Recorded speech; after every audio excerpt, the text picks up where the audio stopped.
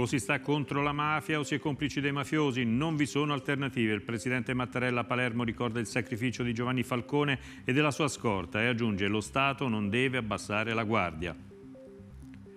13 morti, due bambini in ospedale, il tragico bilancio dell'incidente avvenuto a Stresa dove una cabina della funivia per il Mottarone è precipitata a causa del cedimento di un cavo. L'Italia tutta in giallo da lunedì punta alla normalità, tutto esaurito negli open day vaccinali, domenica di gite al mare passeggiate nei centri storici, riaperti anche cinema, calano contagi e vittime. Annunciare il Vangelo in un tempo di rinascita. Il Papa aprirà domani pomeriggio a Roma l'Assemblea Generale della Conferenza Episcopale Italiana. Comincia il cammino sinodale, dice Monsignor Russo al nostro TG, partendo dalla base, dall'ascolto delle comunità cristiane. Sei conversazioni inedite che Moro ottenne da Radio Bari nell'autunno del 43 sul fascismo è solo uno dei documenti contenuti nell'edizione digitale di tutti gli scritti dello statista. Domani la presentazione del primo volume. Buonasera dal TG 2000, in apertura andiamo a Palermo dove poco fa alle 17.58 in via Notar Bartolo vicino all'albero Falcone è suonato il silenzio e sono stati letti i nomi delle vittime delle stragi di Capaci e di via D'Amelio. Decine di lenzuoli bianchi sono stati esposti sulle facciate degli edifici. Si sono concluse così le celebrazioni in memoria di Giovanni Falcone e della sua scorta nell'anniversario dell'attentato. Questa mattina, sentite appunto il silenzio, questa mattina il presidente Mattarella aveva ammonito la mafia esiste ancora, per questo è necessario tenere sempre alta la guardia. Vediamo allora il servizio di Massimiliano Cocchi. O si sta contro la mafia o si è complice dei mafiosi, non vi sono alternative. La mafia teme certamente le sentenze tribunali, ma vede come un grave pericolo per la sua stessa esistenza la condanna da parte degli uomini liberi e coraggiosi. Nessuna zona grigia dunque, nessuna omertà, lo dice chiaramente il Presidente della Repubblica ricordando nell'aula bunker di Palermo il ventinovesimo anniversario della strage di Capaci, l'omicidio di Giovanni Falcone, quello poche settimane dopo di Paolo Borsellino, dice Mattarella, suscitarono un'ondata di sdegno e commozione che contribuì a spezzare le catene della paura, dell'ambiguità, del silenzio, della complicità. Quelle del Presidente della Repubblica sono parole di speranza che intendono però rilanciare anche l'impegno contro la mafia. La mafia, lo sappiamo, esiste tuttora, non è stata ancora definitivamente sconfitta, estende i suoi tentacoli nefasti in attività illecite e insidiose anche a livello internazionale. Per questo è necessario tenere sempre la guardia alta e l'attenzione vigile da parte di tutte le forze dello Stato c'è poi un richiamo forte alla magistratura. Le contrapposizioni e le polemiche interne minano il prestigio e l'autorevolezza dell'organo giudiziario e se la magistratura perde credibilità, dice Mattarella, si indebolisce anche la lotta ai boss. A causa della pandemia quest'anno ad affollare l'aula bunker non ci sono gli studenti, protagonisti però di un'iniziativa in corso nel giardino della memoria Capaci. Lasciata l'aula bunker invece, il capo dello Stato si è recato nella caserma del reparto scorte della polizia dove ha deposto una corona di alloro davanti alla la lapide che ricorda gli agenti uccisi nelle stragi di Capace e di Via D'Amelio e davanti ai resti dell'auto Savona 15, la croma bianca di Giovanni Falcone che Cosa Nostra fece saltare in aria con 500 kg di esplosivo alle 17.58 del 23 maggio 1992.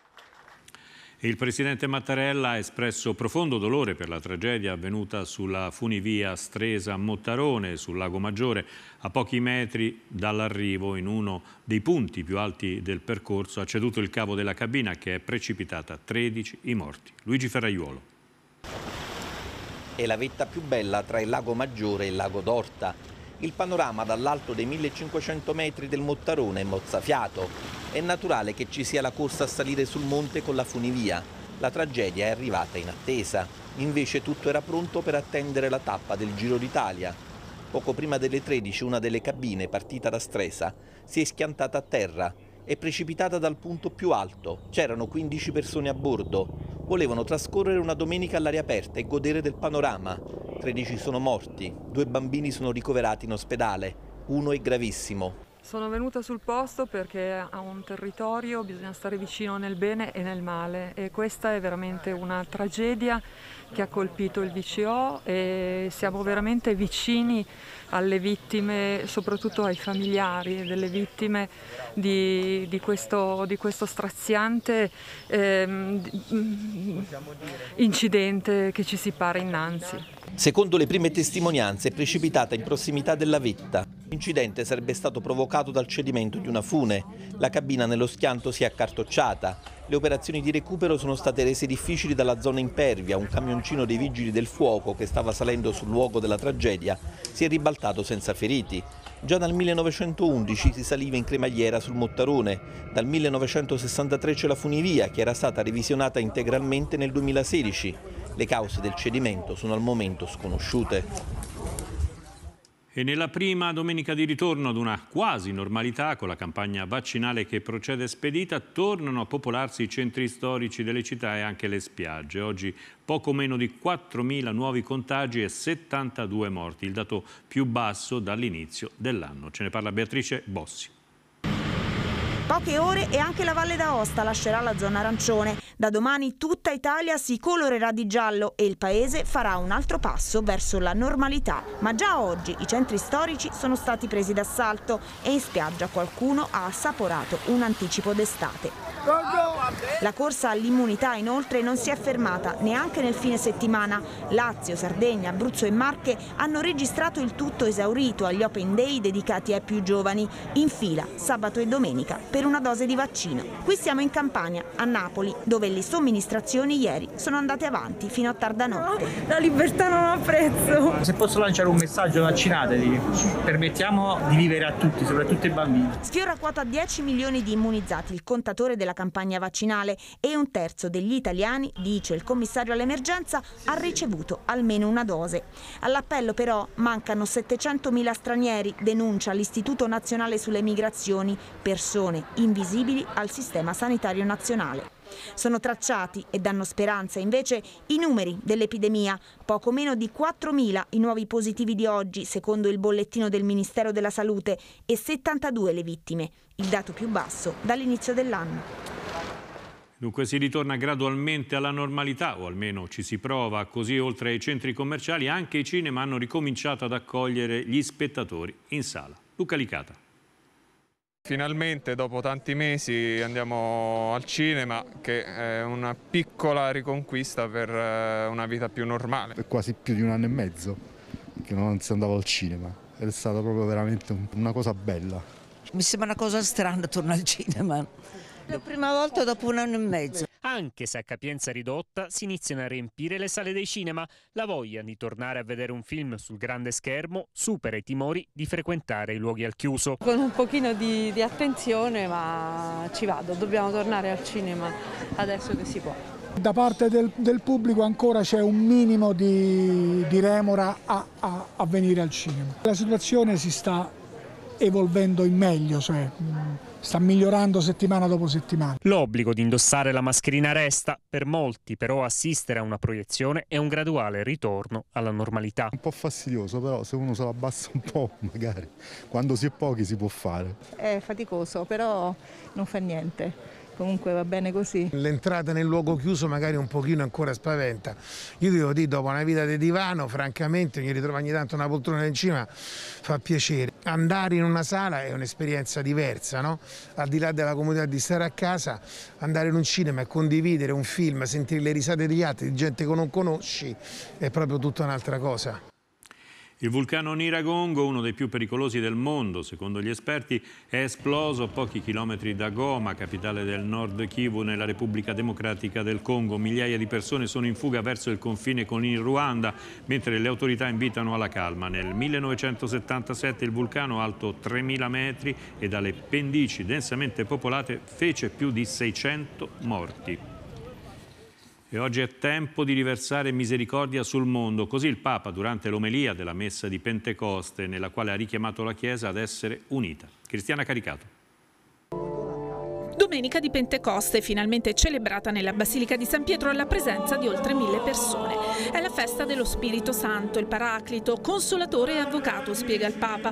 Aiuta la Chiesa ad abitare il presente, scendendo nel cuore degli uomini per portare la tenerezza del Padre e la sua compagnia. Non solo, lo Spirito Santo, continua Francesco, ci difende dalla falsità del male, suggerendo il primato dell'oggi, ma anche la ricerca dell'insieme. Il Papa invita la Chiesa a non concentrarsi su conservatori e progressisti, destra e sinistra, ma a perseguire l'armonia nella diversità. Cerchiamoli insieme. E il nemico vuole che la diversità si trasformi in opposizione e per questo li fa divenire ideologie. Dire no alle ideologie, sì all'insieme. Ultimo suggerimento, mettere Dio al primo posto, mettendo da parte progetti e riforme. Evitiamo di lamentarci della secolarizzazione, invita il Papa, e riversiamo amore nel mondo senza sposarne la mondanità. Anche a Regina Celi Francesco parla della testimonianza della misericordia e della necessità di fare unità, denunciando la divisione e i gruppetti all'interno della Chiesa. Un bravo cardinale è stato arcivescovo di Genova, diceva che la Chiesa è come un fiume, l'importante è stare dentro. Al termine della preghiera mariana un nuovo appello per la Colombia, indicando la strada del dialogo per superare i tanti problemi del paese impegnato in un duro scontro sociale che in tempo di pandemia penalizza soprattutto i più poveri e fragili. Esorto tutti a evitare per ragioni umanitarie comportamenti dannosi per la popolazione nell'esercizio del diritto alla protesta pacifica. Infine un pensiero alla Chiesa cinese per la festa della Beata Vergine Maria, nessun riferimento agli ultimi arresti di alcuni fedeli, ma la preghiera perché la comunità cristiana sia sempre più unita nell'amore e nella fede. E con l'intervento del Papa si aprirà domani a Roma alle 16, diretta su TV 2000, la 74esima Assemblea Generale della Conferenza Episcopale Italiana. Al centro dei lavori il tema annunciare il Vangelo in un tempo di rinascita per avviare un cammino sinodale. Alla vigilia di questo importante appuntamento i direttori dei Media CEI ne hanno parlato con il segretario generale Monsignor Stefano Russo. Ascoltiamo l'intervista. Eccellenza, i vescovi italiani tornano ad incontrarsi di persona alla prossima assemblea dopo una lunga pausa dovuta al Covid ed è un'assemblea che segna l'inizio di un cammino sinodale. Ecco, con quali pensieri e con quali attese ci si ritroverà? Sono appunto passati due anni dall'ultima assemblea in presenza e siamo contenti di poterci ritrovare dopo tanto tempo. Portiamo con noi anche i segni di un tempo fortemente caratterizzato dalla pandemia e da tutto quello eh, che sta comportando per la nostra società. Una grande spinta ce la sta dando Papa Francesco eh, invitandoci anche a, questo, a percorrere questo cammino sinodale che avrà un particolare momento proprio in questa assemblea di confronto, di dialogo fra i vescovi e naturalmente poi vedrà eh, il coinvolgimento sempre più significativo eh, della comunità cristiana eh, nei vari luoghi in cui questa eh, verrà chiamata a, ad essere interpellata in questo cammino. Il cammino della Chiesa in Italia è lunghissimo, millenario. Dalla straordinaria stagione del Concilio Vaticano II fino ad oggi è stato scandito dai convegni decennali nazionali. Ecco, il cammino sinodale come si porrà? il rapporto all'esperienza dei convegni e la sostituirà? Già i convegni inseriti nel cammino eh, degli orientamenti avevano una forte valenza sinodale. Certamente oggi, attraverso un cammino che eh, parte già come un sinodo eh, allargato a tutta l'Italia, eh, questo elemento della sinodalità emerge ancora con più forza. E quindi basandosi proprio sull'ascolto e partendo dal basso, dall'ascolto delle comunità cristiane, saremo chiamati a fare sintesi di tutto questo e a trovare eh, le tracce per eh, far sì che possano scaturire degli elementi condivisi eh, nelle comunità cristiane per il cammino di evangelizzazione della nostra Chiesa. Parliamo di 8 per 1000. Durante l'Assemblea si procederà come di consueto alla distribuzione, secondo le finalità previste dalla legge.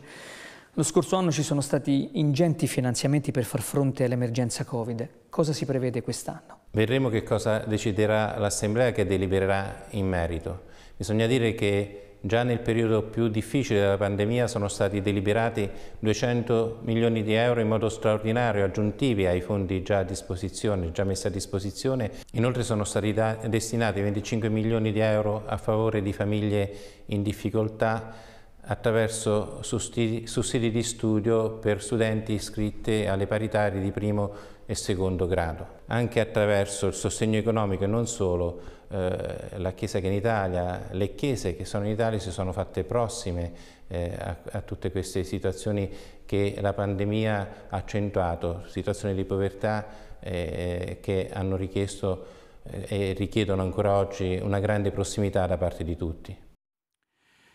E all'Assemblea Generale non potrà partecipare il vicepresidente CEI e vescovo di Acireale Monsignor Anto Antonino Raspanti, risultato positivo al Covid. Le sue condizioni di salute sono buone, informa una nota. Il vescovo, come da protocollo, si trova nella sua abitazione in isolamento per evitare la trasmissione del virus. E adesso andiamo in Israele per raccontarvi due storie che nel tragico quadro delle ostilità dei giorni scorsi fra Israele e Hamas aprono alla speranza. Ce le racconta Francesco Durante. Era stato trovato ai bordi di una strada nella località di Miami, nel nord di Israele, ferito gravemente alla testa da un proiettile sparato da ignoti nel pieno delle ostilità tra Israele e Hamas. Aveva solo 17 anni Mohamed Mahamid Kiwan, cittadino arabo di Israele, morto una settimana dopo proprio a causa delle lesioni riportate. Centinaia di persone hanno partecipato ai suoi funerali nella città di Umm al-Fam con il feretro trasportato a spalla, scandendo slogan di protesta e sventolando le bandiere palestinesi insieme a quelle del movimento islamico. La famiglia di Mohamed sostiene che il giovane sia stato colpito dalla polizia israeliana mentre era seduto in un'auto con alcuni amici, ma il dolore per la sua morte è stato superato da un commovente gesto che apre alla speranza nel difficile contesto della convivenza tra ebrei e arabi. Dopo essersi consultata con un religioso islamico, la famiglia ha deciso di donare gli organi di Mohammed, che sono stati trapiantati a cinque persone ebree e a un bambino arabo. Un analogo episodio, ma di segno inverso, è accaduto qualche giorno prima. Sono stati donati gli organi di un ebreo di 56 anni, Igal Yoshua, morto nei pressi di Tel Aviv in seguito alle violenti sassate di un gruppo di arabi contro la sua auto. Tra i malati che ne hanno beneficiato anche una donna araba di Gerusalemme Est, cristiana, madre di sei figli. Tutti gli iscritti di Aldo Moro in edizione digitale. Domani verrà presentato a Roma il primo volume che raccoglie studi, discorsi ed articoli degli anni giovanili dello statista democristiano. Un'anticipazione nel servizio di Pierluigi Vito.